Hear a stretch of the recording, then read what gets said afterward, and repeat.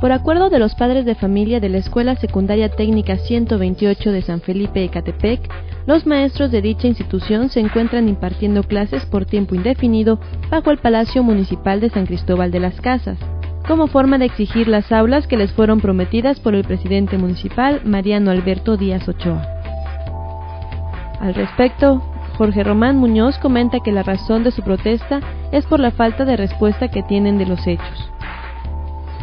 disculpen también si en algo les ofendemos y ante todos los miembros del ayuntamiento, ellos son parte del pueblo y saben perfectamente bien que pues si venimos a protestar no es en contra de ellos, es en contra de, de la falta de respuestas que tenemos ante los hechos. Nada más. Según los acuerdos tomados, maestros y alumnos de diferentes grados se estarán presentando a impartir y recibir las clases correspondientes de forma rotativa, esto hasta obtener una solución, además de esperar la pronta intervención del gobierno del Estado.